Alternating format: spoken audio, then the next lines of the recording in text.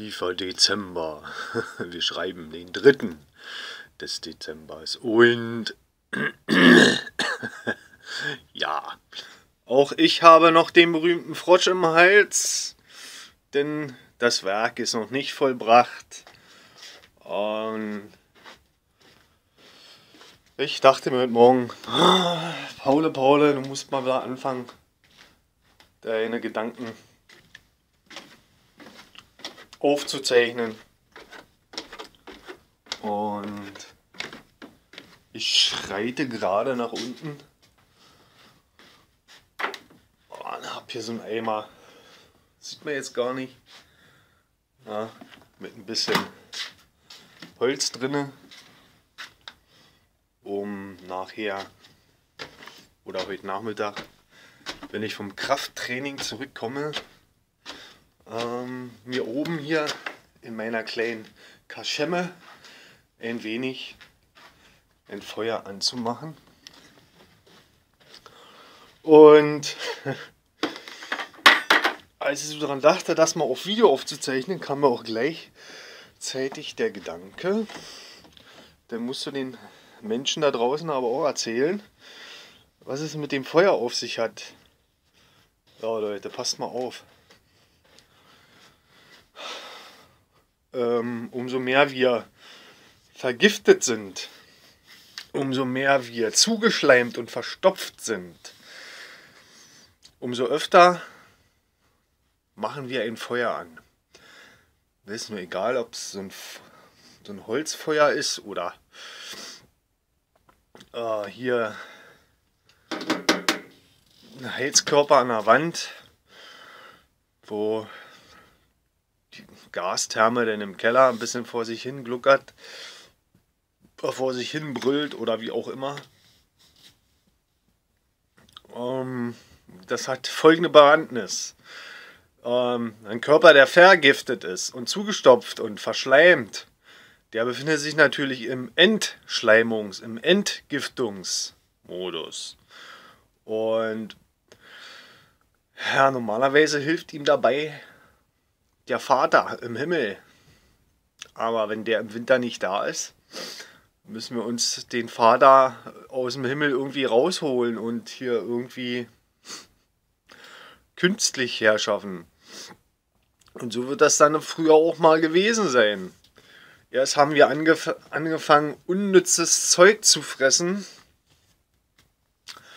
Und als das unnütze Zeug dann nicht mehr aus unserem Körper hinaus wollte, ähm, haben wir dann äh, rausgefunden, dass der Vater im Himmel und die Engel der Luft und wie sie alle heißen, ja, die Wasserengel auch noch, dass sie uns dabei helfen, das wieder aus dem Körper rauszukriegen, weil das da so hartnäckig drin festsitzt. Ja, aber im Winter ist nur der Vater im Himmel gerade für die Nordmenschen nicht stets zur Verfügung. Und ich schätze mal, deswegen haben wir uns da im Feuer ausgeholfen. Oh, hätten wir niemals angefangen, Scheiße zu fressen, hätten wir das auch nicht nötig gehabt mit dem Feuer. Das heißt, wenn wir jetzt wieder eine Revolution durchmachen, also erstmal wieder eine Rückentwicklung, äh, die in dem Sinne keine Rückentwicklung ist, sondern eine Entwicklung dorthin, wo wir eigentlich mal hergekommen sind. Da möchten wir ja wieder hin zurück, weil mh, mm, ja, die da oben da irgendwie ja, scheinbar wissen wollen, ob wir das von alleine schaffen oder nicht. ja. Und ich bin der Meinung, wir schaffen das allein. Nicht alle von uns, aber einige können das schaffen. Ähm, man braucht ja bloß viel Beschäftigung für die linke Gehirnhälfte. Die macht uns sonst immer einen Strich durch die Rechnung. Ja. Jetzt haben wir mal schon angefangen, die richtigen Sachen zu essen. Mm. Und ja, die richtigen Sachen zu machen. Gerade jetzt im Winter, du ist ja gar keine Gartenarbeit da und sonst auch nicht viel und ja, da kann eben schon gleich die Decke auf den Kopf fallen und deswegen äh, habe ich einen kleinen Geheimtipp. Falls euch mal im Winter die Decke auf den Kopf fällt, treibt Sport. Treibt viel Sport. Ähm, das wirft euren inneren Ofen an, denn das Licht eures Vaters schlummert ständig in eurer Brust. Mm, bei den meisten nur auf Sparflamme und das ist eigentlich schade. Ähm, umso mehr wir uns im Winter also bewegen und unseren inneren Ofen, äh, unseren inneren, unser inneres Licht praktisch aktivieren, äh, haben wir es nicht nötig, äh, uns im Außen ein Feuer zu machen. Ja. Äh, ich meine, hier sind jetzt in dem Raum jetzt 12 Grad Celsius und habe mir also nur ein paar leichte Sachen übergeworfen. Also meine Fischerhose hier und meine altbewährte Jacke. Vielleicht kennt sie noch der ein oder andere. Ja, mehr habe ich da nicht drunter. Klar. Ja. Und äh, die Bettwärme sozusagen, die ich mit aus dem Bett rausgeholt habe, die geht jetzt nicht ganz so schnell weg, sondern viel, viel langsamer. Ja. Das heißt, sie ist vielleicht bis Mittag ist sie vielleicht weg und es fröstelt mir. Wenn ich jetzt zwischendurch natürlich mal ein paar Mal draußen bin, da haben wir es minus 2 Grad und der Wind geht ordentlich, dann dauert das natürlich nicht so lange, bis mir die Wärme aus dem Körper raus ist und ich irgendwie mal, ja, mir entweder dickere Kleidung überwerfen sollte oder halt in dem Fall jetzt hier ein bisschen Apfelmus essen. Selbstgemachten Apfelmus. Ja, oder selbstgemachtes Apfelmus. Und dann mache ich mir ein paar warme Gedanken. Ja, wer denkt, wärmt seinen Kopf. Vorausgesetzt, ja, wir haben hier ein schönes Haar, Haarwerk. Ja, also das mit den langen Haaren ist schon praktisch, ne? Da braucht man kein Schal mehr. Da kann man sich den Hals so zudecken. ja. Gut, in diesem Sinne, genug gequatscht. Ich wünsche euch noch einen schönen Tag. Auf Wiedersehen.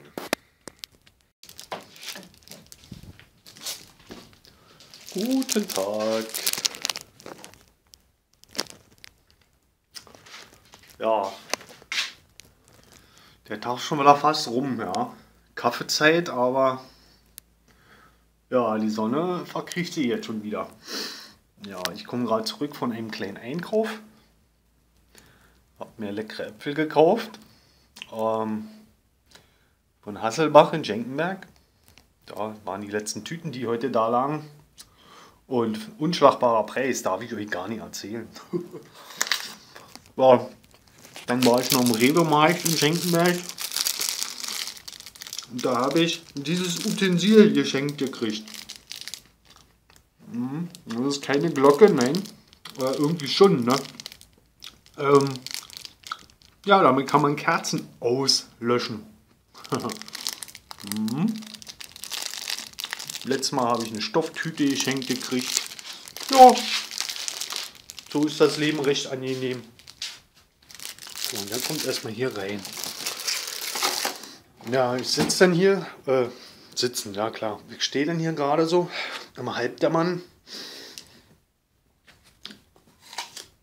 und esse mir einen Apfel. Da kommt mir noch was in den Kopf. Hm. Zum Winter hin und im Winter, weil uns Mutter Natur ja lieb, ganz dolle lieb, kühlen. Deswegen schickt sie so viel Kälte. Ja. Und dadurch werden unsere Körper gekühlt. Und wenn das jetzt expansive Körper sind, also ja, jetzt meinetwegen Hosengröße äh, 52, dann kann das gut möglich sein, wenn man nicht so viel isst, ja, wie so ein Bescheuerter sozusagen, sondern moderat und nur gut, die guten Sachen, also hier Äpfel ne? und Spinat zum Beispiel. Dann kann man, wenn man den Rest auch noch richtig gemacht hat, äh, kommt man dann ins nächste Jahr, in den Sommer hinein mit einer Hosengröße weniger, also nicht 56, Oder was hatte ich gesagt am, am vorhin? Naja, ja, vor dem Winter 56 und nach dem Winter 54. Ja, oder auch 52. Es geht. Ich habe es probiert. Es funktioniert. Ja. Unser Körper wird also kleiner und jünger. Ja.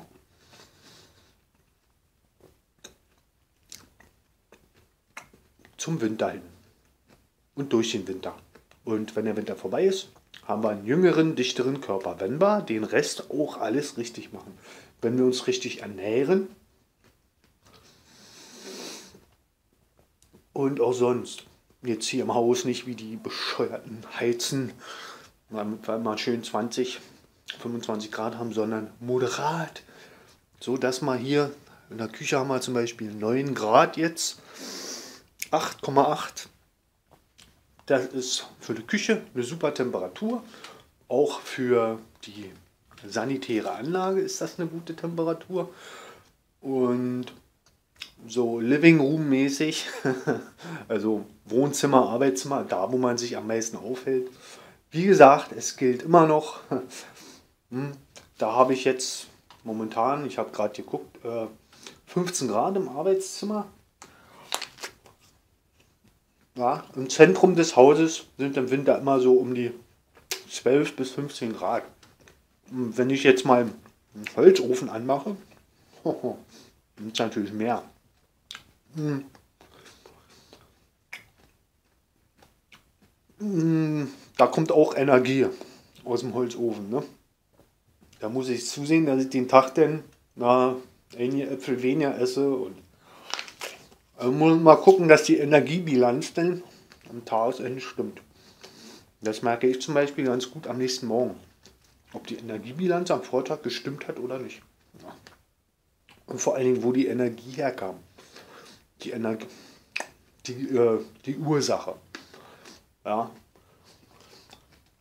Wenn jetzt die Energie aus Müsli gekommen ist, spüre ich das am nächsten Tag. Ich fühle mich rotzelend und habe Schmerzen am ganzen Körper ähm, kommt die Energie vom Apfel. Dann fühle ich mich wunderprächtig, also so wie man sich fühlen sollte. Ja. Ähm, worauf ich eigentlich hinaus wollte, ist äh, wieder die Sache mit dem Schleim. Ja, und äh, den Fremdstoffen, die ja sozusagen eingeschleimt werden. Ja, also die Fremdstoffe die wir in unseren Körper hineingelangen lassen, weil eigentlich die Ursache und der Schleim ist nur die Wirkung. Und im Winter haben wir halt die Reaktion des Körpers, wenn der Körper sich dichter macht, ja, verdichtet, dann wird sozusagen dieser Schleim aus, regelrecht aus uns hinausgepresst, wie der Saft aus einer Zitrone. Ja, wenn wir eine Zitrone so komprimieren, dann platzt die irgendwann an der Säuleplatzstelle zum Beispiel. Und dann kommt da der Saft raus. Und bei uns ist es im Winter halt so, wenn wir zu viel Schleim im Körper haben, ja, die Kälte tut uns auch komprimieren, verdichten unsere Körper. Und irgendwo ist dann eine Sollplatzstelle, da kommt es als allererstes raus. Und das ist bei den meisten Menschen die Nase und der Mund.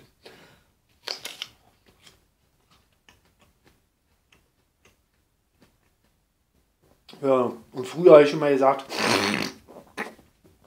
ah, die Rotze mal runterschlucken. Ja, natürlicher Reinigungsweg von außen nach innen. Ich weiß nicht, was mich da geritten hat. ja, das ist nur schon ein paar Jahre her. Aber ich war damals der festen Überzeugung, die Rotze aus der Nase ist am besten, wenn man die runterschluckt. Hm, heute weiß ich, muss raus, das muss raus, ja. Also am besten einen Spucknapf. Ja, einen Spucknapf. Hm. So werden wir vom Winter sozusagen ausgequetscht. Aber 99 von den 100 Affen tun ja mal wieder Scheiße nachstopfen. Immer Rinder. Und da braucht man sich nicht wundern, dass man so komische Krankheiten kriegt, wo sich irgendwelche Quacksalber mal äh, urisch lautende Namen für ausgedacht haben. Ja. Und braucht die jetzt ja nicht alle aufzählen. Das Wort Krankheit reicht schon alleine. Die gehören da alle drin. Alle 20.000 Krankheiten oder wie viele da sind, haben alle eine Ursache. Manometer. Zu viel Schleim im Körper. Und bei den Fleischfresser kommt noch dazu, zu viel Alter. Ja, und andere verwesene Teile im eigenen Körper. Ursächlich so eher vom eigenen Körper. Ja, also äh, ausgediente Zellrückstände oder Rückstände von ausgedienten Zellen, die der Körper nicht richtig ausscheiden kann, weil er verstopft ist. Das geistert ihnen dann alle da in die Flüssigkeiten rum. Im Blut, in der Lymphflüssigkeit. Ne? Und muckert da vor sie hin. Und deswegen stinken die Menschen nur alle so. Aus jeder Pore. Ja? Die brauchen nur einen Arm hoch machen und schon uff, ist der Umkreis vergast. Und manche Menschen dann, zu denen kann ich mir auch zählen, die riechen dann mal an so einem Achselschweiß und ich kann genau sagen, was dieser Mensch hauptsächlich die letzten zwölf Monate gegessen hat. Ich habe da einen richtig guten Freund. Wir kennen uns schon über eine Dekade. Und ich habe so eine feine Nase, dass ich rieche, Mensch, Enno, die letzten paar Monate wieder Menschen auf dem Fleischtrip. Du riechst richtig nach Bratwurst, Imbissbude. Genauso hat er ja auch gerochen. Wie eine Imbissbude. Und da wusste ich auch, was der hauptsächlich essen tut. ja. An mir selber habe ich es auch getestet. Ja. wenn ich mir dann zum Beispiel mal so einen Harzer Roller hole hm, und den mal esse, den rieche ich und schmecke ich den am nächsten Tag an mir. Wir brauchen nur den Arm hoch machen. Oder mal die Nasenschnodder mir auf die Zunge zergehen lassen. Schon rieche ich, aha, da ist er, der Käse. Ja, nur als Beispiel. Funktioniert tatsächlich, wenn man, wenn der Körper schon halbwegs rein ist, dann hat man so feine Sinne plötzlich, dass man das riecht. Man riecht, ob das Mensch ist, der hauptsächlich sich von Getreide ernährt. Man riecht, ob das Mensch ist, der sich hauptsächlich von Kartoffeln und Fleisch ernährt. Das riecht man alle, weil man selber von sich selbst die Gerüche ja auch aus der Vergangenheit kennt. Und jetzt hat man dieses Erinnerungsvermögen, dieses Geruchserinnerungsvermögen hat man jetzt aktiv und schnuppert sich so durch die Welt. Ist einfach nur herrlich. Ja, gut so jetzt bei mir von einem Thema ins andere. Hab sehr, sehr viel zu erzählen. Hab die letzten Monate mit Absicht nicht die Kamera angeschalten. Erstens, weil ich nicht weiß, ob da überhaupt jemand hören möchte und sehen möchte, noch dazu. Und auf der anderen Seite denke ich immer, ja, ich, ich schließe mal von mich auf andere. Ich einen Entwicklungssprung mache, denke ich immer, wow, die anderen machen das auch gerade durch. Aber nee, dem ist nie so. Ja, und deswegen die sieht ja auch ein bisschen so in die weite Welt hinaus, wie Hänschen klein. Um mir einfach nochmal vor Augen zu führen, dass es nicht so ist, wie ich denke. Dass da viele, viele, viele, viele, viele Menschen sind, die noch nicht mal eine Ahnung davon haben. Und wenn dann Menschen da sind, die wenigstens schon eine Ahnung von haben, die gerade mit ihren inneren Dämonen kämpfen, so soll ich oder soll ich nicht. Und da hat es mir dann richtig Spaß gemacht zu intervenieren, also so mich nicht einzumischen, aber kurz mal für ein paar Tage was vorzuleben. Und hat dann bei dem einen oder anderen Menschen auch funktioniert. Die essen jetzt kein Fleisch mehr. Die rauchen nie mehr. Die überdenken gerade ihren äh, Bierkonsum und so weiter. Das ist Wahnsinn. Und das muss ich aber auch erstmal alles in meinen Schädel drin kriegen. dass ich nur allein durch meine Präsenz und durch die wenigen Worte, die ich wechsle, so eine Resultate an anderen Menschen erreiche. Und ich bin da gerade nicht zimperlich. Ich sage, was ich denke. Und das auch mal mit einem Ton, wo das ein oder andere zart beseitete Wesen äh, ja, eine falsche Interpretation rinpacken kann. Ja, ich meine Haare brauche ich auch nicht mehr so oft waschen, muss ich mich erstmal dran gewöhnen. Die werden auch nicht mehr so schnell fettig. Also da müsste ich jetzt Unmassen von Fett essen oder so, dass die Haare wieder fettig werden. Oder eine Zeit lang habe ich mir auch Mandelöl in Haare geschmiert, um einfach dieses Gefühl zu haben, dass die Haare leicht fettig sind, ja. Aber inzwischen habe ich mich daran gewöhnt, dass die halt nicht mehr so leicht verfetten, die Haare. Und ja, man muss sich halt immer öfter am Tag mit der Hand durch die Haare streichen. Dann kriegen die auch ein bisschen äh, ja, den Schmutz von den Händen drin. Ne? Und irgendwann haben sie dann halt wieder so den Zustand, dass man sie waschen kann. Ja, und das, ist, das gehört alles zu der Umgewöhnung mit zu. Ja, dass man irgendwie die Programmierung da leicht umprogrammiert. Äh, mit leicht meine ich langsam.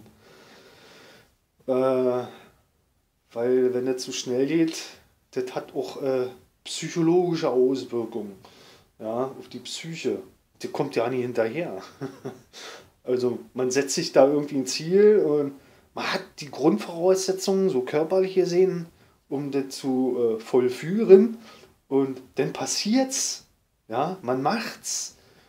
Am Anfang nur äh, zögerlich, dann wird's durch Verinnerlichung des Wissens wird's ein Selbstläufer.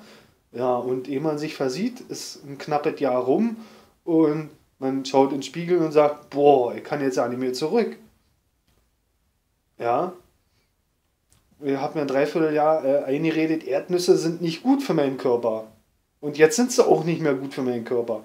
Und na klar, da muss man dann ausprobieren durch Essen der Erdnüsse, ob das jetzt, ob die noch verträglich sind oder nicht. Und bei mir zum Beispiel, wenn ich Erdnüsse esse, kriege ich einfach eine dicke Zunge und Reizhusten und mein Körper will die Erdnüsse nicht mehr. Ist das geil? Ja, früher mal diese Allergiker und so, die habe ich immer beneidet weil die können nicht anders. Ne? Und wir anderen Drogensüchtigen, ja, wir konnten irgendwie alles in uns stopfen, ohne drüber nachzudenken, was das dem Körper anstellt. Ne? So, und jetzt ist es inzwischen so weit, dass ich aussortieren kann. Und zu diesen Zwecken muss man halt ab und zu mal äh, so Kostproben nehmen von Sachen, die man schon eine Weile nicht mehr gegessen hat und wo man sich irgendwann mal angefangen hat einzupflanzen, das ist nicht gut für meinen Körper. Oder manchmal haben es auch andere für ihn bewerkstelligt. Ne? Also da hat zum Beispiel jemand eine Liste erstellt, so äh, diese Nahrungsmittel kann man essen, diese nicht so gut. So, wenn man jetzt jeden Tag eh mal über diese Listen rüberfährt, so wie ich hier, habe mir hier was angehangen, hier in der Küche bin ich jeden Tag mindestens einmal. Meine Augen streifen drüber, erblicken, aha, blub. Ja, und schon gräbt sich das ins Bewusstsein ein und wird zu Geist und ja, ja, irgendwann folgt der Körper. Und dann steht man da, probiert mal, ach, naja, mal gucken, die Erdnüsse hier. Und nächsten Tag hat man dicke Zunge und schon fünf Minuten nach dem Verzehr von den Erdnüssen Reizhusten. wo kommt denn der Reizhusten her? Ja. Alle so eine Sachen. Äh, eine Schale Müsli habe ich neulich erstmal wieder ausprobiert. Boom! Dicke Zunge, geschwollene Lippen. Kann ich nicht mehr essen. Und wenn ich es mache, muss ich mich halt darauf vorbereiten, dass es Reaktionen gibt. So, diese Reaktion, die zeigt der Körper aber nicht, weil heute gerade Dienstag ist. Nee, die zeigt er, weil er damit sagen will, never, never, never, never again. Ja? Nie wieder. Ich will kein Müsli mehr essen. Nix Getreide, nix Haferflocken. Weg damit. Pfui. Bäh.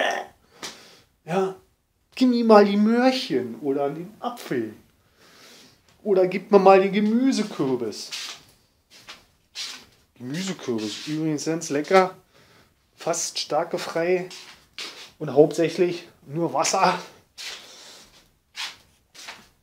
Ah, hier schon zwei Kilo von vernascht in den letzten Tagen.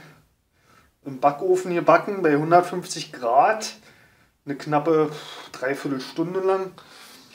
Und dann, ja, der schmeckt nach ja nicht, aber ist hauptsächlich nur Wasser. Und äh, heute ich mich gefragt, ob man überhaupt im Backofen backen muss. So wie ein Hokkaido zum Beispiel. Ein Hokkaido, da ist so viel Stärke drin.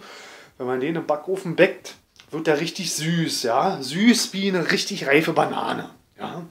Und da wird verständlich, aha, deswegen wird der gebacken. Damit die Stärke sich schon im Backofen durch die Hitze in, in Zucker umwandelt. Ja? Fructose, Glucose. Was unser Körper ohne eigenen Energieaufwand absorbieren kann und was wichtig ist, assimilieren kann. Ja, Stärke tut der Körper zwar auch absorbieren, aber er kann davon nicht alles assimilieren. Und das, was nicht assimiliert werden kann, ja, das Gedöns, das schwebt dann durch unsere Körperflüssigkeiten und ist Dreck, Fremdstoff, stört, ja, und muss ausgeschieden werden. Und für diesen Ausscheidungsprozess muss der Körper Energie aufwenden. Und irgendwann hat man diese Energie nicht mehr. Und deswegen äh, sehen die Menschen halt auch alle so aus.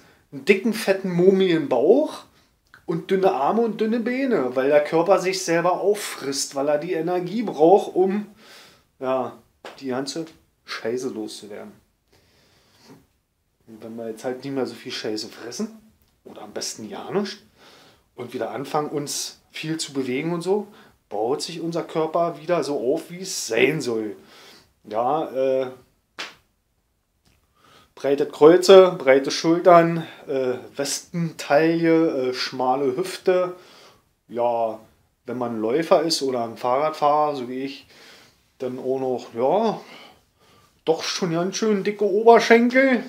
Nicht mal so eine dünnen wie früher und so weiter und so fort. Ne? Also, ich kann im Moment gerade dabei zugucken, wie sich mein Körper wie sich da so ein neuer Körper aufbaut und der alte immer mehr verschwindet. Und mit dem alten Körper ver verschwinden auch immer mehr diese Gedanken und diese Hibas. Oh, ich möchte das jetzt essen. Also ich gehe heute zu Tage in den Supermarkt hier, meinetwegen Kaufland in Wust. Und die haben da so eine riesen Brot, Brötchen und ja, Getreideprodukte Abteilung. So ein, zwei, drei Gänge. Und da geht dann heute nur noch durch und mach mal die Klappen hoch und riech mal, mm, riech mal, leckere Brötchen. Aber ich habe kein Verlangen mehr, da zu langen und die mitzunehmen. Ja, das riecht zwar schön, genauso wie ich wieder gegrilltes Fleisch riechen kann und ah, das, das, das Riechen, das, ah, das geht alles. Und ich, ja, ha, guck mal, hm, riecht ja nach lecker Grillfleisch. Aber ich kann das nicht mehr, ich nehme das nicht mit. Ich wüsste nicht, was ich damit anfangen soll. Wenn ich das esse, wird mir speiübel. Spätestens einen Tag später. Und dann kriegt die Scheißerei, Kotzerei und hast du nicht gesehen. Ähm, ja, so viel vom Geist und von der Materie. Ähm, ja, mache ich jetzt das Nähtäschchen mal zu. Ich habe nur so ein paar Sachen zu erledigen. Ähm, ja, bis die Tage. Ja, Paul. Und ehe es hier ganz dunkel wird, sage ich mal zu euch, abschalten. Tschüss. Ja. Und wenn man jetzt einen Tag so unterwegs ist, Ähm, Gerade so draußen, Fahrrad fährt zum Beispiel, bei den Temperaturen und man an den Beinen, an den Beinen und an den Armen nur sehr leicht bekleidet ist, so wie ich das praktiziere. Und den Kopf immer gut einpackt, ja, Mützchen ne, oder hier viele, viele Haare. Dann tut einem ja die Kälte sozusagen die Beine und die Arme in dem Moment verdüchten durch den Fahrtwind und die Kälte halt. Ne? Das, äh, das, das quetscht sozusagen diese Extremitäten regelrecht aus. Und ja, der Schleim wird dann nach oben gequetscht und schon kommt es einem raus, ja. Und je nachdem, wie viel Schleim man im Körper hat, süfft das dann hier raus oder ist nur ein kleiner Truppen. Äh, ne? Moment.